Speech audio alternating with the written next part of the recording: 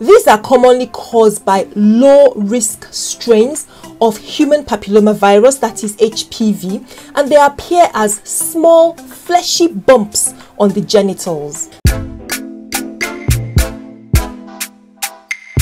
So they can happen as single or multiple growths.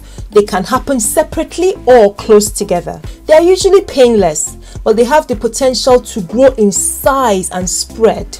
It is essential to test for other types of sexual infections. Warts can be treated in different ways. So the treatment options include first, no treatment at all because one third of visible warts disappear by themselves within six months.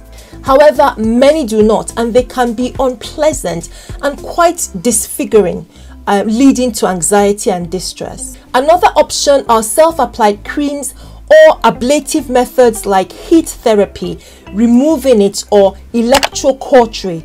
These should be considered only if the practitioner, that is the person providing them, is appropriately trained. Now, while these treatments can be very effective. Sometimes they can leave scars or changes in the pigmentation around the areas where the warts were located. So it looks different and that contributes to distress about the change in the appearance of the vagina.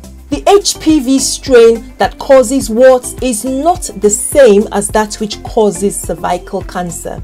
However, it is possible you could get infected with the high risk strain at the same time. Therefore, please make sure you maintain regular cervical smears to identify any changes early that could suggest cervical cancer.